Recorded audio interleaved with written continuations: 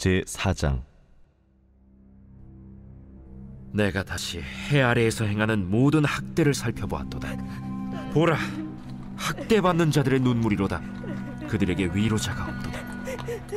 그들을 학대하는 자들의 손에는 권세가 있으나 그들에게는 위로자가 없도다.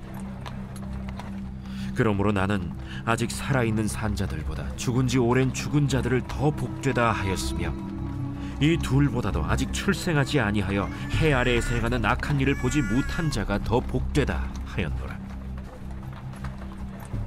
내가 또 본즉 사람이 모든 수고와 모든 재주로 말미암아 이웃에게 시기를 받으니 이것도 헛되어 바람을 잡는 것이로다.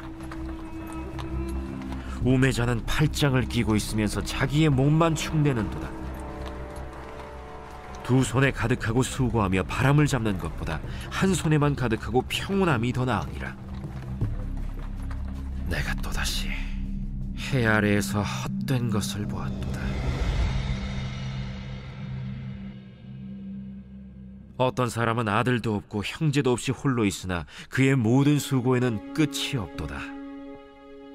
또 비록 그의 눈은 부요를 족하게 여기지 아니하면서 이르기를 내가 누구를 위하여는 이같이 수고하고 나를 위하여는 행복을 누리지 못하게 하는가 하여도 이것도 헛되어 불행한 노고로다. 두 사람이 한 사람보다 나음은 그들이 수고함으로 좋은 상을 얻을 것임이라. 혹시 그들이 넘어지면 하나가 그 동물을 붙들어 일으키려니와 홀로 있어 넘어지고 붙들어 일으킬 자가 없는 자에게는 화가 있으리라. 또 두 사람이 함께 누우면 따뜻하거니와 한 사람이면 어찌 따뜻하랴. 한 사람이면 패하겠거니와 두 사람이면 맞설 수 있나니 세 겹줄은 쉽게 끊어지지 아니하느니라.